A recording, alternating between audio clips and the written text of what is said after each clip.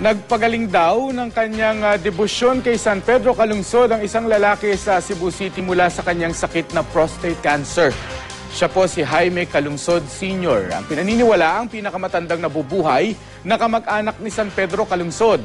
Ayon kay Jaime, humingi siya ng intervention kay San Pedro Calungsod para pagalingin siya sa kanyang sakit.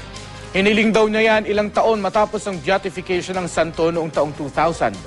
Taong 2005 daw, nawala ang kanyang cancer.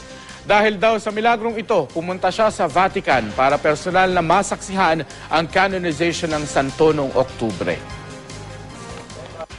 I just pray, Pedro, please help me with my sickness. I'm cured now without medicine.